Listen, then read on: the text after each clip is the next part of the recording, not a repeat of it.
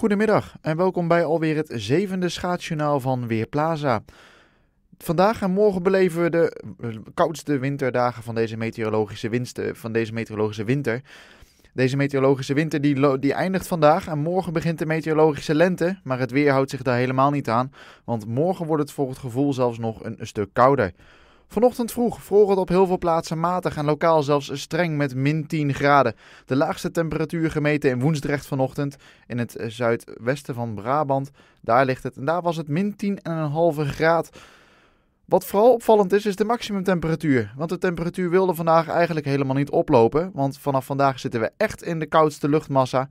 En de temperatuur tot nu toe op veel plaatsen slechts min 2 in het zuiden tot op sommige plaatsen min 7 in het oosten van het land. En dat is natuurlijk voor deze tijd van het jaar uitzonderlijk koud. Want normaal gesproken is het overdag in deze tijd van het jaar 7 graden boven nul.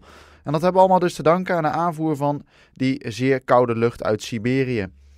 Daarbij staat ook nog eens een flinke wind uit het oosten. Windkracht is 5 tot zelfs op de Wadden windkracht 7. En dat zorgt voor zeer lage gevoelstemperaturen. Ik pak het tabelletje er nog maar eventjes bij.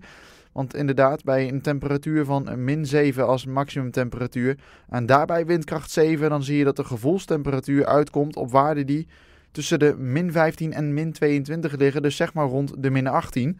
En dat is dus zeer koud. Want met dat soort waarden ben je een uur onbeschermd buiten in de kou. Dan heb je al zelfs al kans op bevriezingsverschijnselen. Die lage gevoelstemperaturen die houden we vanavond, komende nacht en ook morgen overdag nog vast. Want de wind neemt alleen maar verder in kracht toe. Morgenochtend opnieuw kans op lokaal strenge vorst. Dus temperaturen rond min 10 graden. Maar daarbij dus die vrij krachtige tot krachtige wind, windkracht 5 of 6 uit het oosten. Dat komt dan neer op gevoelstemperaturen die misschien wel beneden de min 20 kunnen liggen. En dat is wel uitzonderlijk lager, zeker voor deze tijd van het jaar. Morgen overdag, dan hebben we de meeste wind, maar dan temperaturen van 0 tot min 3 graden. Dan ligt de gevoelstemperatuur wel erg laag, dus ongeveer rond de min 10. Wel een, een stuk minder laag dus dan morgenochtend. Uiteindelijk loopt het kwik wel verder op en ook morgenavond dan kan het voor het gevoel weer heel erg koud worden. Maar de wind neemt vanaf morgenmiddag wel geleidelijk weer in kracht af. Als we eventjes een vooruitblik doen naar de komende dagen, want het ijs is natuurlijk ook van belang.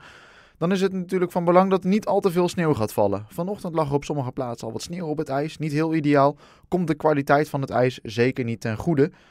Op sommige plekken kan het wel van voordeel zijn. Daar is het sneeuwdek net dun genoeg om geen isolerende werking te hebben, waarmee de kou van de lucht dus buiten wordt gehouden. Maar wel reflecterend genoeg om het warme zonlicht van het ijs af te houden, waardoor het ijs in ieder geval niet heel snel dunner wordt.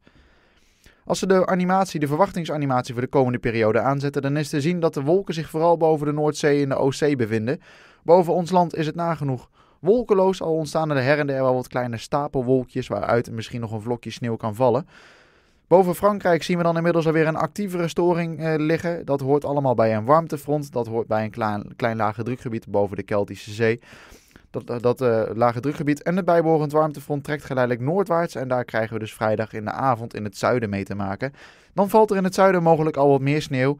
En achter dat warmtefront zit vanzelfsprekend al de mildere lucht en komt de zachte lucht al binnen.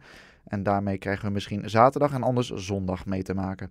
Dus eventjes de komende dagen, want de temperaturen vrijdag alweer ietsjes hoger dan min 2 graden in het noorden nog, maar dankzij de passage van het warmtefront in het zuiden al 1 of 2 graden. In het zuiden dus enige tijd sneeuw, in het noorden afwisselend bewolkt en af en toe dus ook ruimte voor de zon en vooral ietsjes minder wind dan de donderdag. Zaterdag dan wint de zachte lucht of de mildere luchtterrein, mildere lucht moet ik dus zeggen, dan 1 tot 6 graden alweer en zondag dan is de kou echt uit ons land verdwenen. In de nachten kan het nog wel licht gaan vriezen, dat betekent dus niet alleen kans op gladheid, maar het ijs dat kan ook weer ietsjes in kwaliteit winnen. Maar met de sterke zon en de vrij hoge temperaturen overdag, dan gaat de kwaliteit van het ijs vrij snel achteruit. Dan pakken we nog eventjes de schaatsthermometer erbij.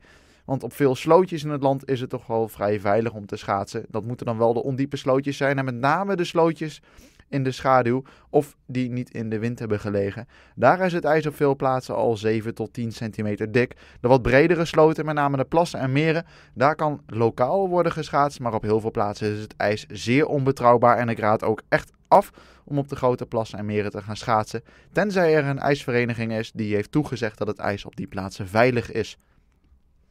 Mijn naam is Wilfred Jansen voor Weerplaza.nl